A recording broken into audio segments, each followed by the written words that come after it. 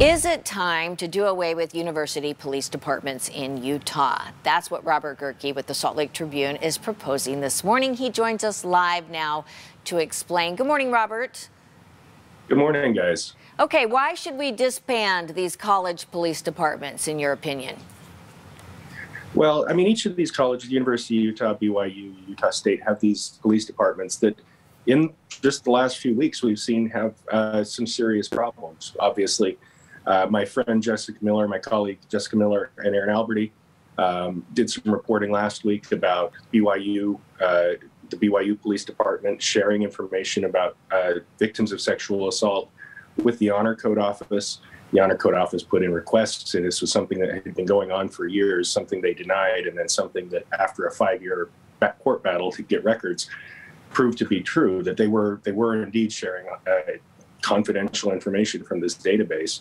Uh, and then we had the issue with the Utah State Police Department, where the police chief resigned after a video surfaced of a of a meeting he had with the football team, where he said, you know, that that LDS girls will have sex with you and then regret it and claim it was assault, and they don't want to do that. It, it just conveyed this really negative tone, this sort of bad mentality when it comes to policing these issues. And then, of course, the University of Utah a couple years ago had the, Laura, the murder of Lauren McCluskey that was bungled by the police department. Not just bungled. I mean, there were there were real misconduct by uh, officers on that case. And so all of these kind of point to a lack of accountability. I think a lack of transparency, and, and, and, a, and a, just not a commitment to doing good police work. And so I think it's time to just dissolve these police departments you know, the, the Salt Lake City Police Department can police the U. Provo Police Department can police BYU. The Logan Police Department can police Utah State better than these campus police departments have proven able to do. So, Robert, these police departments were formed for a reason. So, uh, what would we be missing out on by letting them go? I'm not exactly sure you're missing out on much of anything. I mean, if the police departments need security for buildings, they can have security, uh, hire security personnel that aren't police. You know, if they if they need somebody to write parking tickets, they can have you know they can hire parking ticket writers uh, that aren't police, and and leave the police work to the the police that are uh, more accountable. I mean, I think the biggest thing in my mind is that you know, these police departments, municipal police departments, are accountable to an elected city council and an elected mayor who are going to have more oversight, more control over the day to day functions than, say, a board of trustees or an appointed president or the bureaucracy of a large college campus and university.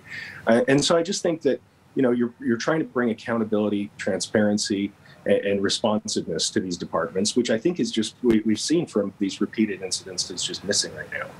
And you don't and you think don't any sort of uh, reform or changing these accountability accountability measures would work in this situation? You know, I think uh, if, if we look at the case of Utah State University, they had the Torrey Green case where he was accused of nine sexual assaults, convicted of six years later because the police departments didn't communicate with each other the North Logan, Logan, and, and, Utah State Police Department didn't communicate with each other. And I think you get rid of some of those seams, but also the fact that we now see, uh, after a Justice Department investigation, we still had this police chief who had this mentality, this mindset that these victims of sexual assault aren't to be trusted, that they're to, that they're that they are this is just a matter of them regretting consensual sex. And actually, we've seen some research just recently by a, a BYU professor that said you know, when when when that's the mindset of the police, it's almost four times as likely that these that these cases are deemed to be unfounded or or made up, basically.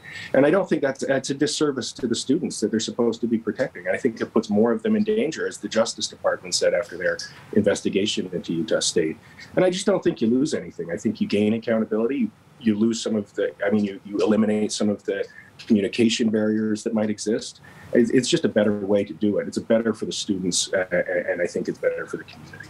Well, Robert, you're always giving us something to think about, and I know other colleges and other states are, are, are, looking at this same issue. So for our folks here that want to read more about Robert Gehrke's column, it's on sltrib.com. Robert, thank you very much. Have a good week. Happy holidays. Yeah, thank you. Yeah, you too. Merry Christmas. Bye.